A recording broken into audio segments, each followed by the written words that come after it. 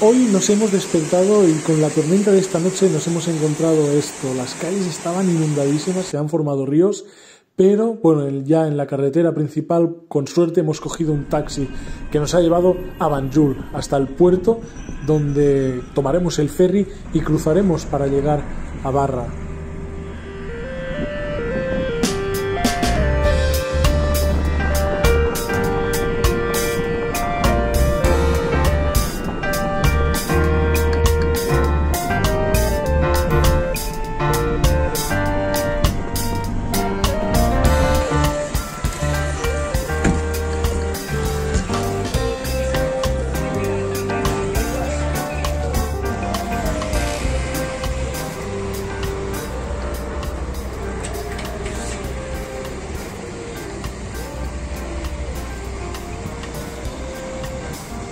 Pues estoy ahora mismo en el puerto de Banjul, encima ya del ferry montados para ir a Barra y cruzar el río Gambia. Como sabéis, Gambia es un río.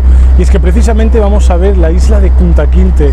Es una pequeña isla situada en la entrada del río que fue un punto histórico muy importante de sobreintercambio de esclavos, compraventa de los mismos y se caracteriza precisamente ahí el mito de que ahí estuvo el mismo personaje Kunta Quinte que se caracteriza en la serie de Raíces. Vamos a ver cómo llegamos hasta este punto, cómo llegamos hasta esta isla que se sitúa en el pueblo de Albreda y Yufure. Cogeremos una barca y llegaremos a la isla.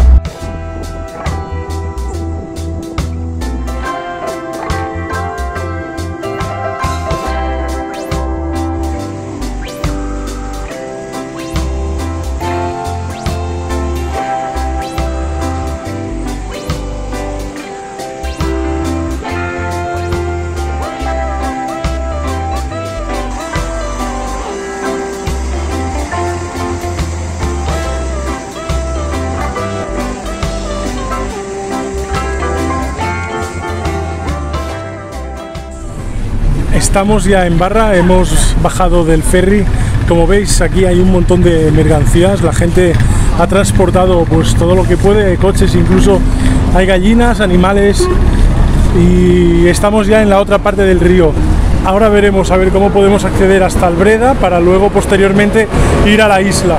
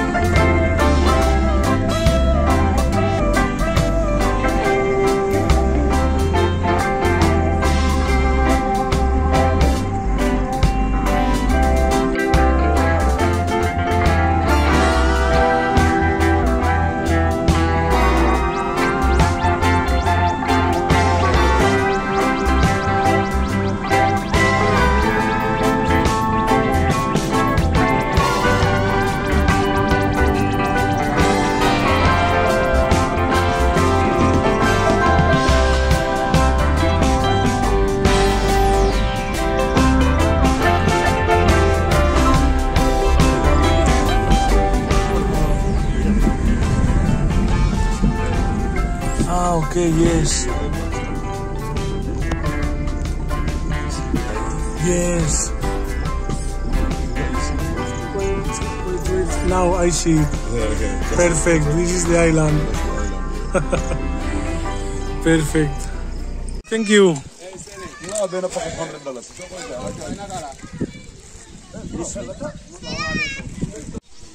Hello guys, how are you? Fine, thank you. Yeah. I'm recording.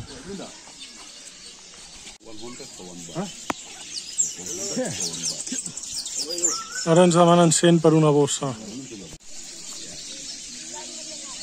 Ok.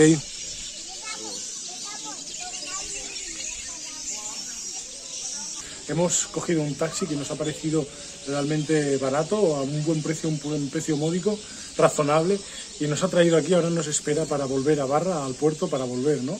A Banjul y al hostal donde estábamos. Habiendo llegado a Albreda hemos cogido un ticket para visitar el museo, visitar la isla y por supuesto coger un bote que nos llevará a ver la isla donde se esclavizaba y donde se hacía la compraventa. Más de siete países han venido aquí. Ya desde los árabes en el siglo X empezaron a, comprar y vender esclavos en este punto porque la etnia mandinka, la África negra, son súper fuertes eh, para trabajar en climas tropicales y de esta manera pues rendían mucho mejor con menos recursos que las personas nativas de ahí. De esta manera se malvendían aquí, se marcaban la piel y podían pues eh, contribuir a este negocio. ¿no? Desde los holandeses, Portugal, los franceses y los ingleses venían aquí y traficaban con esclavos que también los empezaban ya a llevar a las Nuevas Américas. Así trabajaban en las plantaciones de algodón, café, cacao, etc. Muchas familias eran rotas, divididas y nunca más se volvían a encontrar. Muchas otras personas eh, eran muy maltratadas, morían y no llegaban nunca a su destino. Así nace también la leyenda de Kunta Kinte, que inspiró a la película y la novela escrita con el mismo nombre. Como podemos imaginar, también a día de hoy sigue habiendo como un esclavizaje pasivo. A partir del dinero, los sueldos de las personas residentes de aquí son muy bajos, los gobiernos están realmente bastante corruptos y no tienen prácticamente recursos. Están olvidados a merced del gobierno. Esto se podría entender como una forma moderna de esclavizaje Queda en vuestra opinión. Ahora empieza la verdadera aventura, coger el bote para llegar a la isla. Cinco millas son las que nos separan del fuerte de St. James, o la isla de St. James, la isla de Punta Quinte, apodada así por la UNESCO. Esta isla es patrimonio de la humanidad desde 2003 y se llama la isla de Punta Quinte desde el 2011. Vamos a ver entonces cómo llegamos ahí.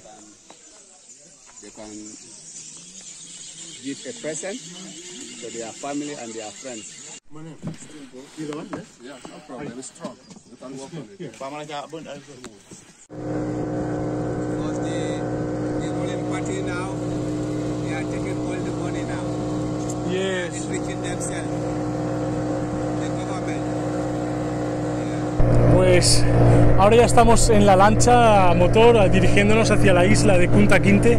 Realmente eh, esta agua es salada, este, forma parte del río de Gambia y hasta al cabo de 100 kilómetros podemos encontrar ya agua dulce. Aquí detrás no se, no se ve mucho por el sol, pero tenemos ya la isla. Es un trayecto de unos 15-20 minutos, muy tranquilo, hace muchísimo sol, pero con al ser una barca a motor, pues pasa un poco de brisa.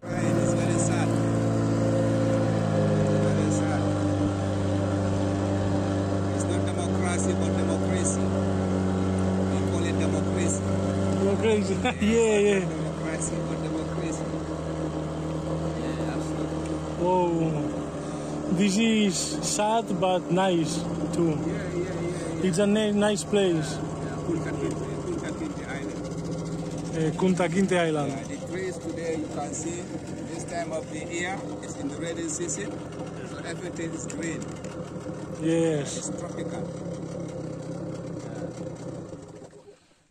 So 1456, this island was corrupted by the king.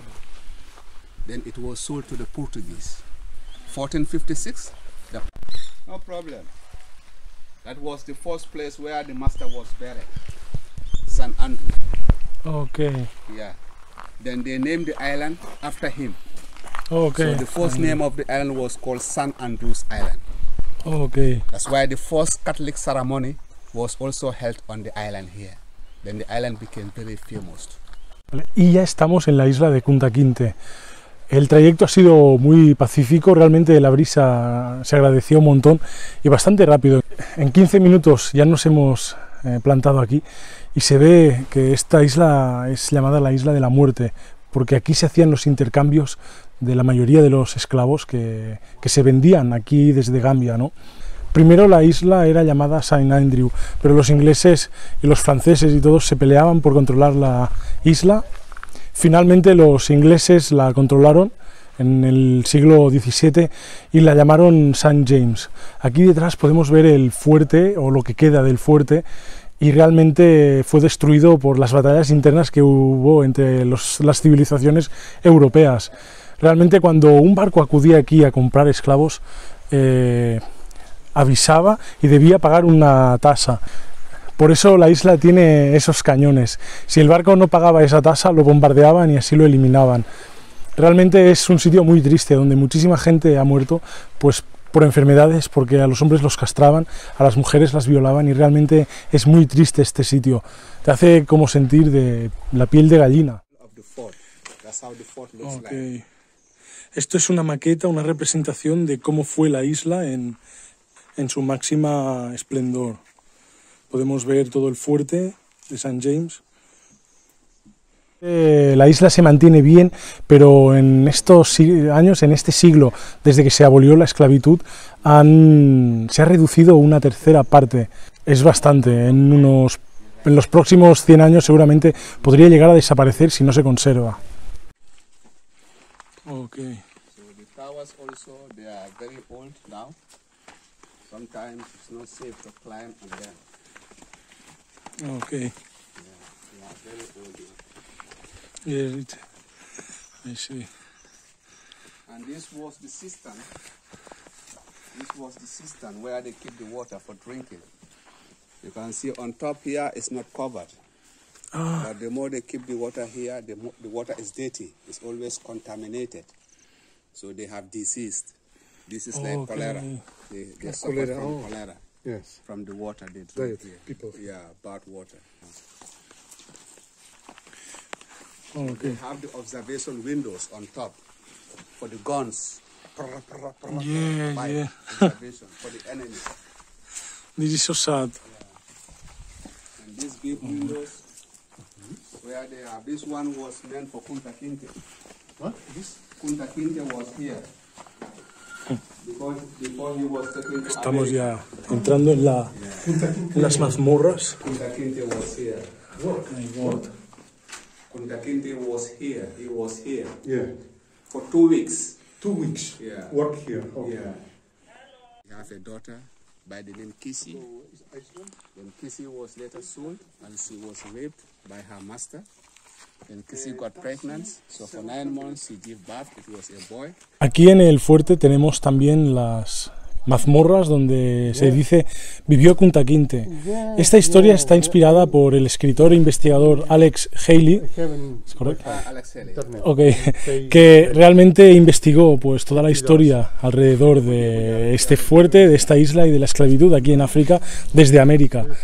Él nos cuenta pues en su libro Raíces todo eh, la historia que pasó Kunta Kinte, se dice un héroe guerrero mandinka que vivió aquí en Gambia y en esta isla estuvo preso. Aunque si está inspirada esta historia en ficción, nadie lo sabe, hay mucha controversia, lo que sí es seguro es que muchísimas personas como él habrán vivido situaciones similares o incluso peores. Seguramente tenemos aquí un legado de la faceta más negra de toda la humanidad. Literalmente la humanidad estaba súper corrompida en este momento, sigue estándolo quizá, pero en otras formas mucho más sutiles que no las vemos y quizá que a nosotros pues nos parezcan más confortables. Realmente la humanidad necesita evolucionar muchísimo y veremos pues cómo en los próximos años este país va evolucionando, cómo África occidental evoluciona a través de la política, porque muchos países están extremadamente corrompidos y la gente vive pues, sin recursos económicos ni otros recursos pues, para sobrevivir. Los recursos económicos sirven para conseguir otros recursos, pero es que incluso los más básicos también escasean. Así esperamos que la nueva política de cambios sustanciales y ahora emprenderemos el viaje de regreso al Breda Jufure y nos aventuraremos para regresar a Barra y a Banjul. Espero que os haya gustado este vídeo, nos vemos en Psicología Espiritual y Existencial. Hasta la próxima.